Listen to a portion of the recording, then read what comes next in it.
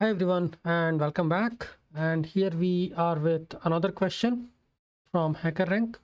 So this question will help you to understand these problem statement coming from HackerRank for full stack interview positions. So here this is another question and we will first go through the readme file. We will go through the instructions properly what need to be done. There is already a partial code written for this and we will just try to just see how we can write that logic to achieve. And there are already test cases are written.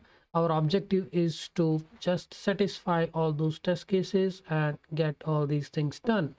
From the animation i think you are able to see what we need to do. These are just three different buttons. We just need to toggle and get things done.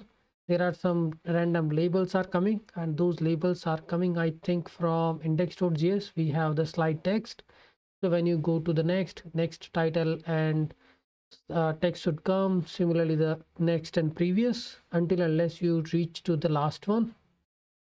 If you are reaching to the last one i think then this next should disable right? If you are reaching to the first one then the previous should be disabled let's go through this. So the slide component takes an array of slide as a props that we already have in index.js on the application launch the first slide will rendered on clicking onto the next button next slide will come. On the previous previous slide will come.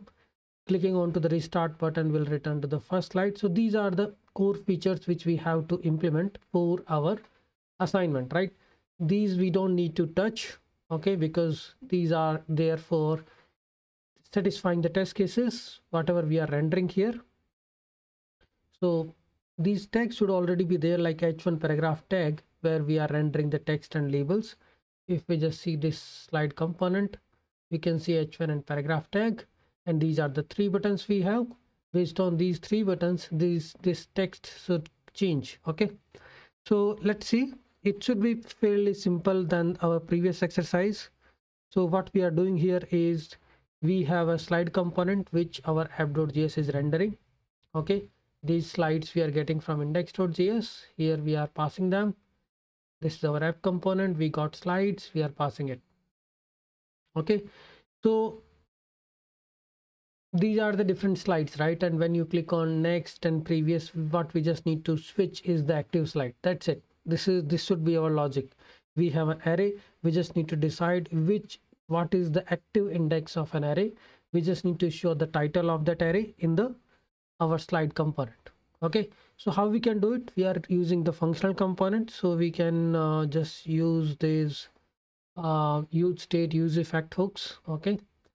So let, let's say we have some kind of a counter. So when you are doing a previous next we will just play around with this counter okay? So we are already passing the slides. So we can just pass all the different props here okay? When you so here we have these different buttons right? Next previous and restart. Let's first go to our child component and see what logic they should hold. Okay? So when you click on the previous we should be just uh, passing the the previous slide. We should be showing the previous slide right? So what we can do here is in app.js we can have one current slide. Okay? Current slide is can be a state variable right? So current slide which we are passing. So current slide can be okay the current slide is zero. Okay then we have these different different uh, functions which we need to handle and this is the counter right? What we need to do is whenever this child component is clicking on to this previous next and restart button we just need to reset the count right? So these are nothing but the methods callback methods from the child component. So let's say uh, next. Okay this is my approach. There may be another solutions different way to handle this. What we just need to do is set count we can call and we can increase the count with plus one. Right? Similarly there is a previous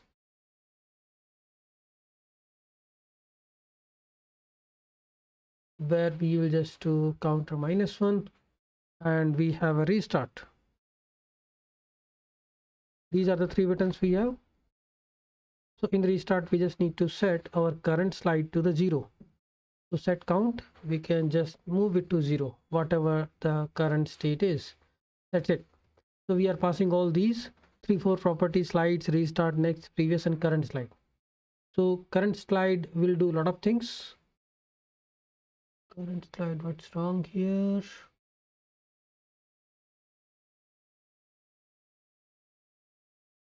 Okay so now we just need to use this in our child component. We are getting slides. Now we are getting a lot of other props. Current slide next previous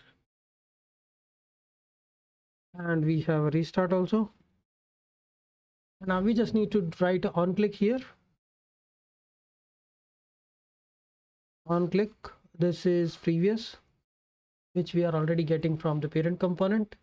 And when you click on it we need to just call this we just need to send this method to the parent component. This is next. Next previous and this is our restart.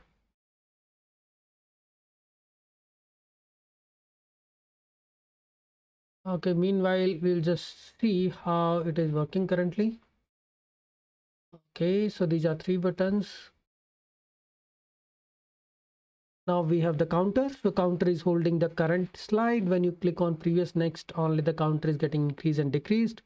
Now we also have a requirement of disabling the buttons. If you are on the last index we don't want to increase that further right? So if your current slide we want to disable this right? So you can just do it simply using disabled you want to disable this button when? When? Current slide is at zero right? Current slide is at 0 and you want to disable the next button when you are at the last slide which is you can say slides dot length.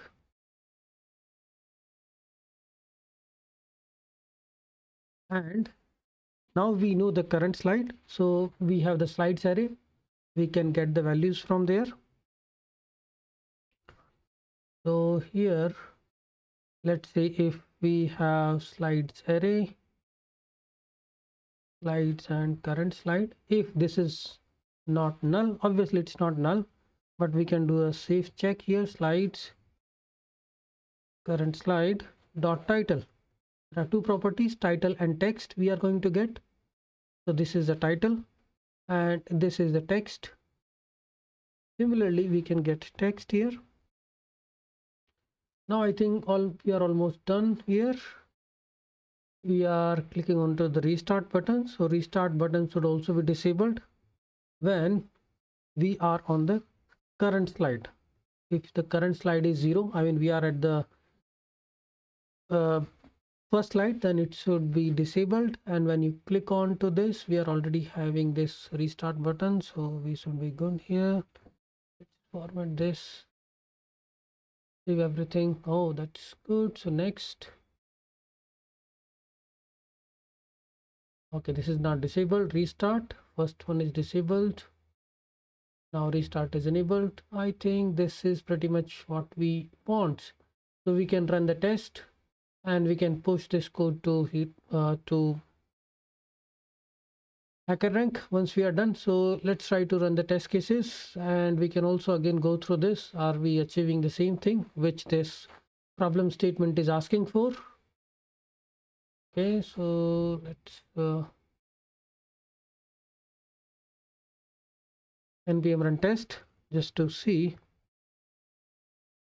if we are good. And then we can push it so these test case it will execute against our code. It also has some mock data.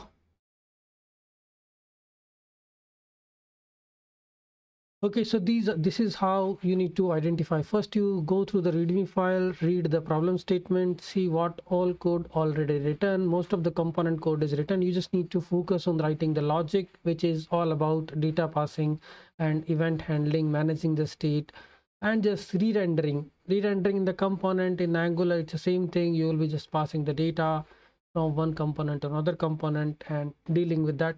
So now you can see our test cases are passing so that's well and good. So we are done with the second exercise for react on HackerRank okay? Next we can look for angular one question and then node.js okay? Thanks everyone